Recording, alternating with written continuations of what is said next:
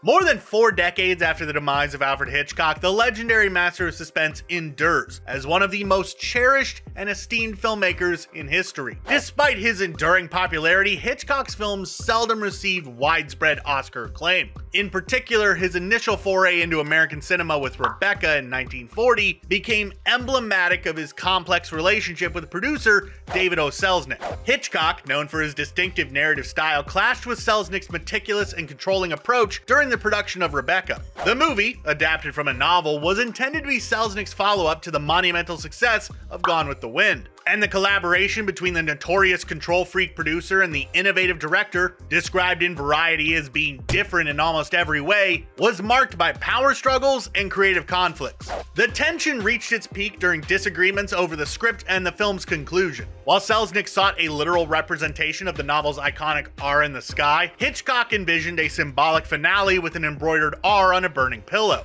Despite these clashes, Rebecca achieved critical acclaim, significant box office returns, and, notably, the Best Picture Oscar, only Hitchcock film to attain this prestigious honor. And despite the film's success, Hitchcock distanced himself from Rebecca, disowning it as not a Hitchcock picture due to its misalignment with his creative preferences. However, the collaboration with Selznick opened doors in Hollywood for Hitchcock, leading to subsequent projects like Spellbound and ultimately establishing his reign over the suspense genre. And the movie, with its artistic tensions and ultimate success, laid the foundation for Hitchcock's ascendance in Hollywood, where he would go on to create some of the most iconic and enduring works in cinematic history.